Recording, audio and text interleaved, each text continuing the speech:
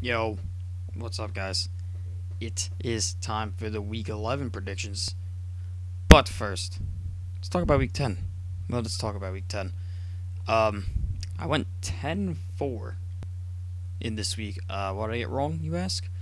Uh, I got the Packers and Bears wrong because I suck. You know, I really don't suck. I mean, Packers looking good now. So, what are you gonna do?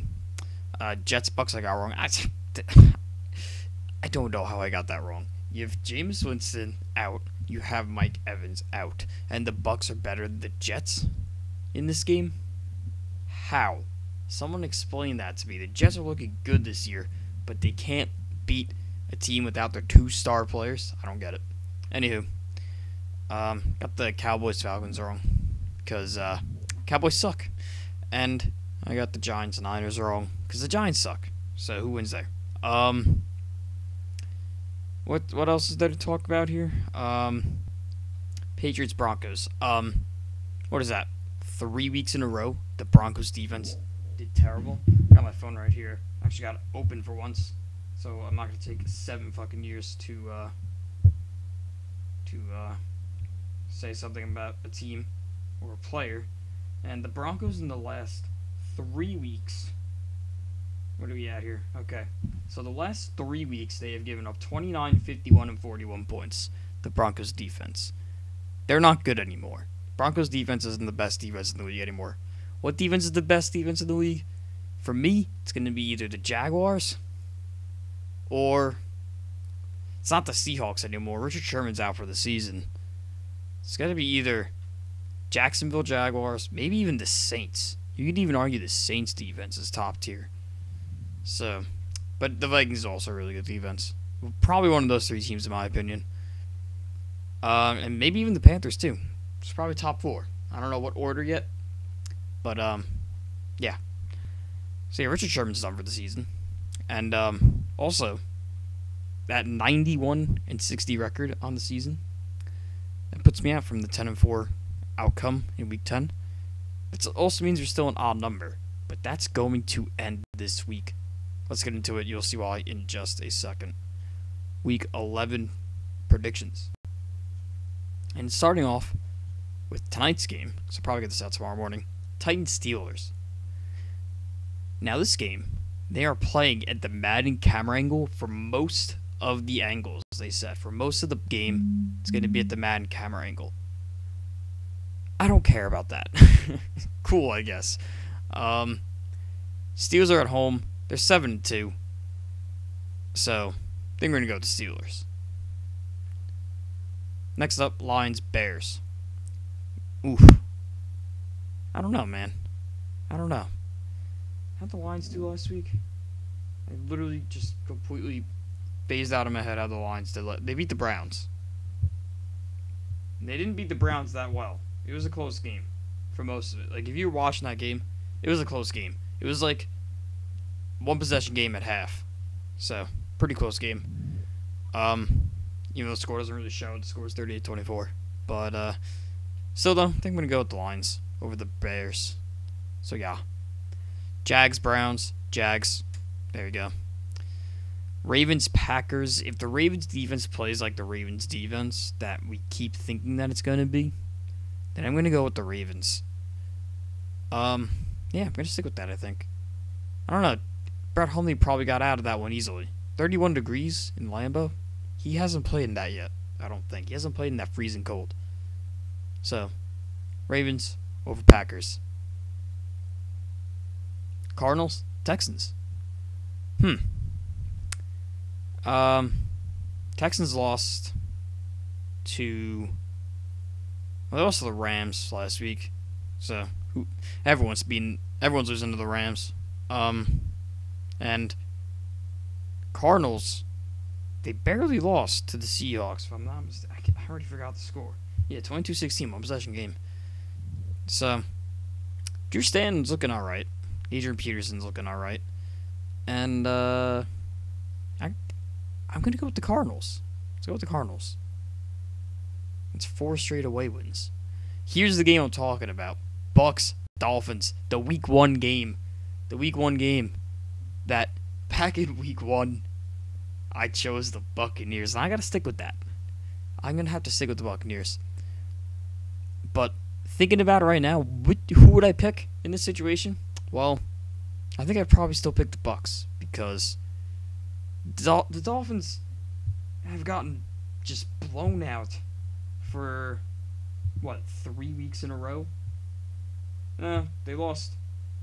They lost 27-24 to Oakland, but that game wasn't really. You have to watch that game. That game wasn't. They they, they suck. And uh, and then they lost 40 nothing. Yeah, I'm gonna stick with the Bucks. You know it's Fitzpatrick and uh, and well Evans is coming back, so. Ooh, this game looks good. Vikings Rams. Ooh. Hmm. I don't know. It's gonna be a good one. Both teams are seven and two. Both teams are seven and two. Um, hmm. Ah, I feel like the Rams could win. I feel like I feel like they could win this game. Defense might not matter in this game. I think it's just to be points on points. Case Keenum put up a lot of points, but their defense almost blew that game. It was a one possession game at the end of it. The Rams, though. Oh. The Rams are too good. We're going with the Rams. Chiefs, Giants. Giants season's over. They got nothing to play for now. They're one and eight. Eagles are even one. They can't win the division. It's impossible. There's seven games left. They could tie. They could. They, they play the Eagles though. They play the Eagles one more time, so it's impossible for them to tie. Cause they're not beating the Eagles. The Eagles are too good. I I mean. You also like they have to win out. The Eagles have to lose out. The chances that happens is so slim. So, Chiefs over Giants. Redskins, Saints. Saints have won seven in a row. So, we're gonna go with the Saints. Bills Chargers. Hmm. Hmm. Um the Bills announced today that Tyrod Taylor will be benched this week. And some guy named Nathan Peterman or something like that is starting. I don't know who that is. Um, Chargers win. Bengals Broncos. Both teams mediocre. Shitty offense though. Ugh. Denver Broncos offense is a little bit better. I was just shitting on the Broncos defense, man. But I mean, I feel like that's not going to matter this game. I feel like the Broncos could win it. So we'll go with the Broncos. Patriots Raiders in Mexico. Fun little fact there. Games in Mexico. Um, the Raiders lose this game, their season's done. They have to win out. It's almost impossible for them to make the playoffs if they lose this game. It's got the Chiefs soaring high, and then you got people like the Patriots in your in your conference that are also there. And uh, yeah, and also you're gonna have to have the Ravens. Like they have a hunt for the wild card here, in the Ravens, the Bills, and probably the not the Chiefs. The Chiefs will win that division. So yeah, the Ravens and the Bills. So you, that's to be a tough chase. Even the Titans, Titans or Jacksonville, one of those two teams are also to be in the hunt because one of them's winning the division, the other is going to be in the wild card. Um. So yeah, I'm to take the Patriots. Eagles, Cowboys. No Elliott still. He's actually gone. He's coming back week 16 versus the Raiders. That's a fact. Um, wait a second. Is that news alert? No. Um, so Eagles win. And finally, Falcons Seahawks. No Richard Sherman, but they signed Byron Maxwell. So, that's cool. Is that going to do much? I don't know. Is Earl Thomas playing? I don't know. I'm hearing something about Kam Chancellor, too. So, that whole Legion of Boom is fucked. But I mean, they still got a pass rush. They still got a decent pass rush. I mean, let, let me let me just make sure my facts are correct. I'm gonna check the injury report here. Uh, Sherman, yeah, he's on IR. Uh, doesn't say anything about anyone else. So, yeah. Who do I want to win this game, though? Hmm. Who do I think will win this game? I mean, you're in Seattle. That's like one of the hardest stadiums to play in.